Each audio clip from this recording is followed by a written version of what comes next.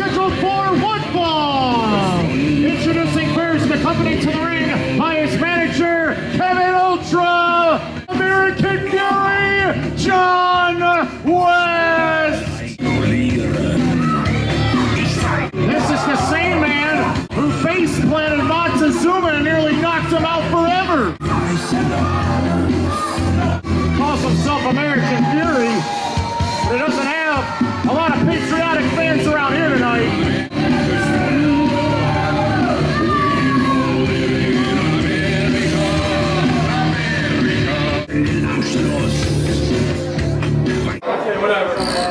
He got a wallet. Whatever, I'll check me, alright, officer? Don't touch him. He didn't do no spot. Hands up, no shit. And his opponent, Johnny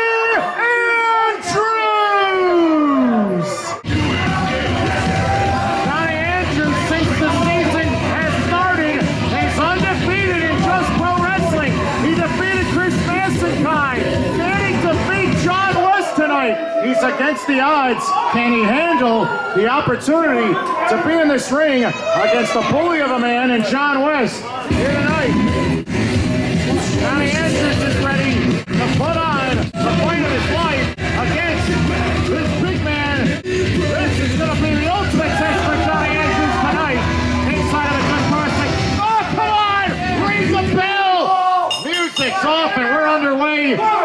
West not wasting a second of time.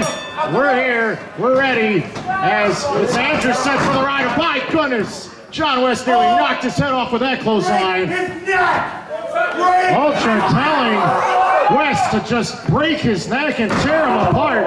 All of a sudden, Jon West has already taken the abuse to another level. What aggressiveness by Jon West here.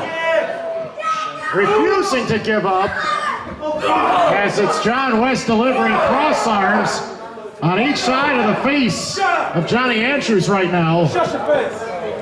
West is the one dominating this ring right now.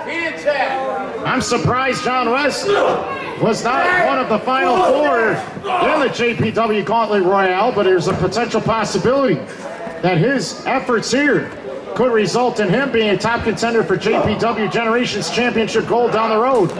West again, too dominant. Future champion. His striking is much more accurate. It's it's definitely too much for Andrews to handle. Ultra shouting at the opposition here to give up. Oh. Jon West just pounding Andrews in the corner repeatedly. Oh, oh, hurt the free one. Hurt the free one. Jon West successfully destroyed the first victim in Montezuma two months ago. Will he have his second victim tonight? Oh my, huge knee lift. And that nearly crippled Johnny Andrews in the corner. Grabbing a hold of that right leg. Now he forces that right ankle upwards. That outside thigh stretch was nasty. And Jon West being tended to by the referee, but in the meanwhile, hold on.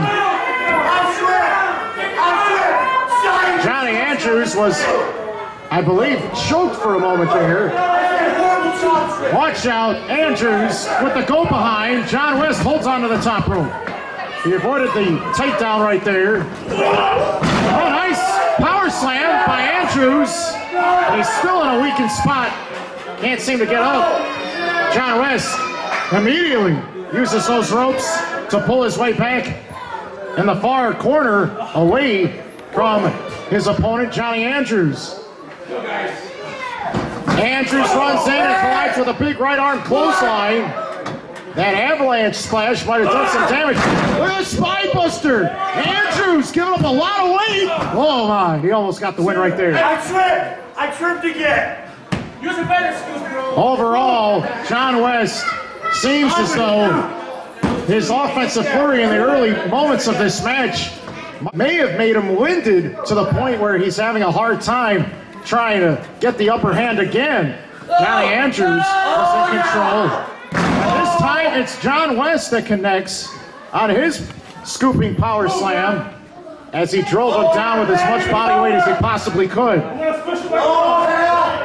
Oh, yeah. One. Here's West on the ropes. Two. He flies. Missed the backsplash. He missed badly. Johnny Andrews rolled inside. Great idea, great strategy here.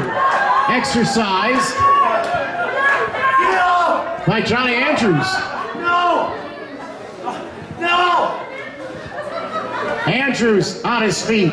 Jon West leaning on those ropes, trying to use those ropes as a support to remain standing. Let's go, get him. One. He might have knocked all the wind out of himself.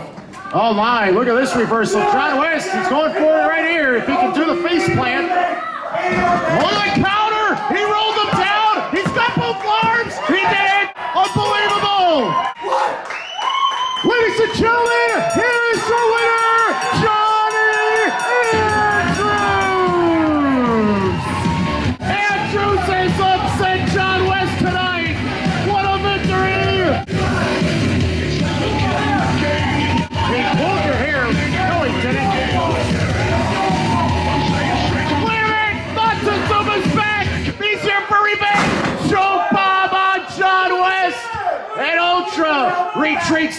outside.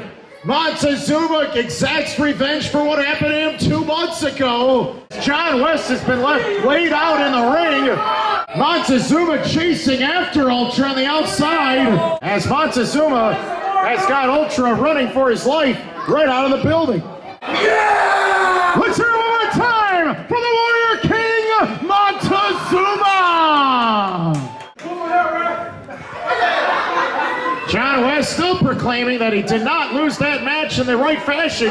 He feels like he was unjustly taken down by a full handful of his hair. He's going to debate that with Seymour Butts all night.